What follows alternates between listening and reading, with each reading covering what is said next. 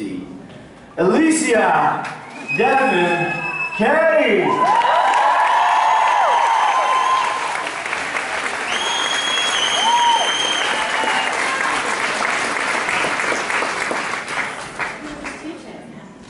Oh yeah, yeah, just for you and me. Just for you and me. So hey Alycia, how you doing? Good, how are you? I'm very, very Hey everyone. Thanks for coming. Listen, once again, we have a full house. I know, you all look so wonderful. Okay, so I want to know, I want to know how many of you guys were in here last... I want to yes- know that too. Yeah, how many yesterday. of you were here yesterday? Okay, so five. seconds. And you waited in line two times. Wow. Thanks so much. Wow. So, Just one of us. Okay, great, great. so how, how, is, how has your day been? How, how was your day yesterday?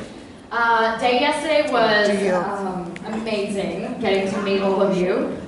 Um, it was also so tiring. I was so jet lagged. And I was like signing these things. I got to a point where I was like, that's not my signature. and I was like, that's just some swirly lines. The- did you get any more gifts? I, yes, yes. I have a whole, like my room is just filled with them. I haven't been able to look at any of them yet because I literally got back to my hotel room and I was like, I need some food. So I went and got some food at this gorgeous little restaurant in, in the middle of town and then, and then I was so exhausted I just went to sleep. But I'm so excited to get back tonight and finally look at them. Yeah, because I got a few more today as well. Oh, Yeah, but today I'm feeling a little bit more, you're a little more pumped. yeah, Yeah. acclimated to Copenhagen time. Oh, well, it's, it's hard not to be pumped with all these people. Yeah, it's fantastic. Wow. Yeah, no, the energy is palpable. Like it's all there. You guys so positive and excited, so it's great. Okay, well, you guys, you know the drill. We're going to do uh, a little bit of small talk up here first, and then we're going to open the floor. And uh, it's going to be like yesterday. You guys are going to stand in line, maybe 10 people at a time, uh, and wait for your turn. Um, but first, there was one question yesterday that, that kind of stuck with me, and it was a very simple question, actually. It was which Taylor Swift song? you like the best? And, uh, and it kind of made me wonder, what, what kind of music do you like?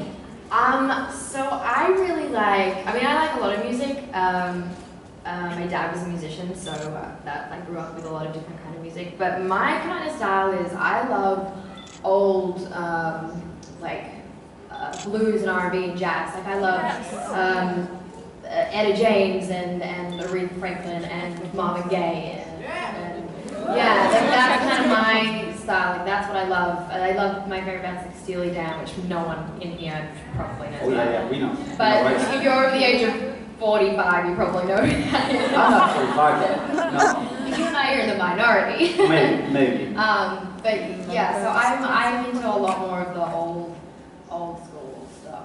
Yeah, that's where I, what I like. But then I can totally get down with a little bit of Drake here and there. Yeah, okay. That's great, that's great, that's wonderful. Um, so I also wanted to ask you guys out there, how many of you consider Alycia here like a positive role model? There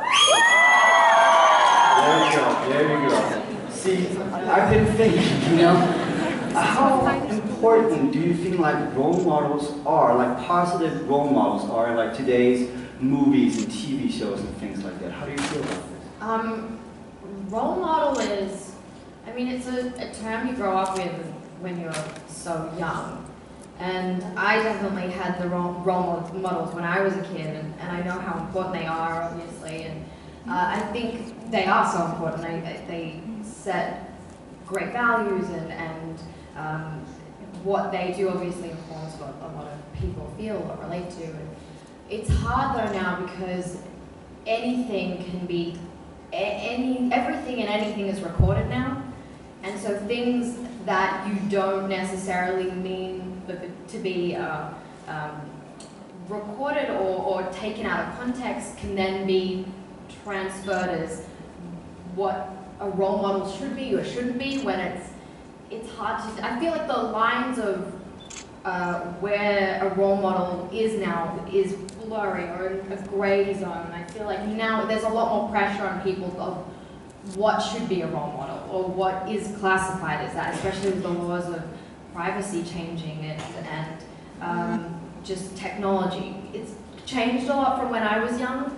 Uh, like role models for me were like, you know, like they do a, like it was like a pop star that did a performance, and then that's what you saw, and then maybe you saw like an interview or something, and it was the best thing ever. Now everything is online, and, and every little detail is accounted for. So it's very, especially being in the position I'm in now, it's a, it's hard to manage what you give out and don't give out so that you're not misinterpreted, if you know what I mean. I'm getting, getting really serious with you all here. But I think it's also important because it, it is not to be taken for granted, uh, you know, someone's intentions or, you know what I mean? I, I, it's complicated, but yeah, role models, interesting title now. It's Yeah. not the same as it was, and I think people still have that original idea of what a role model is, and especially with girls, young, like the females now.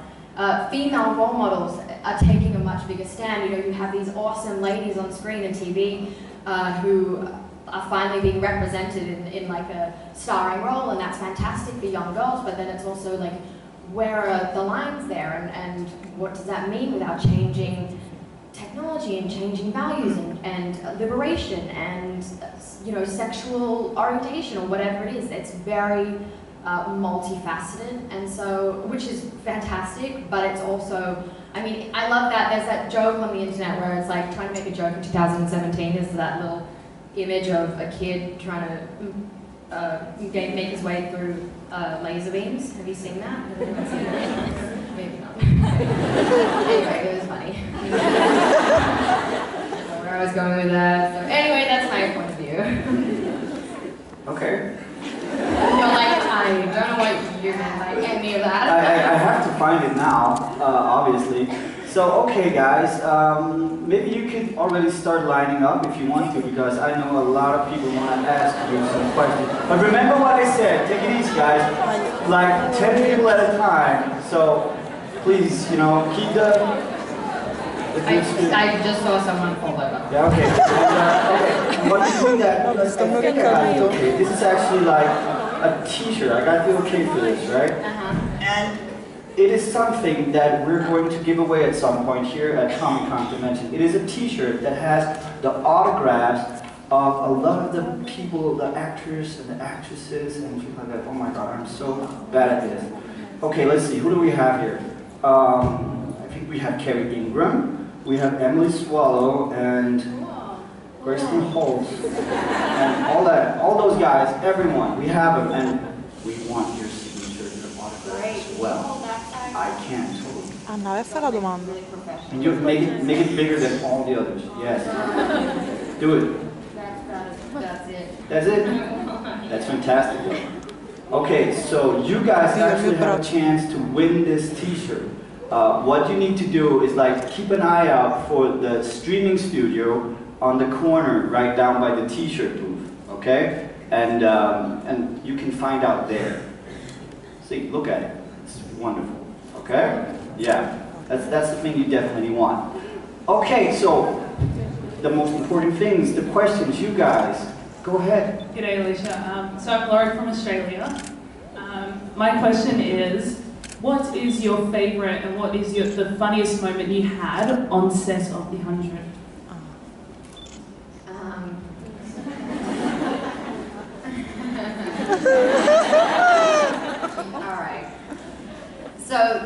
Was the scene where Eliza and I finally uh, had a relationship. And the crew decided as a joke that it would be really funny because we couldn't hold back giggles the entire time. It was very funny to do.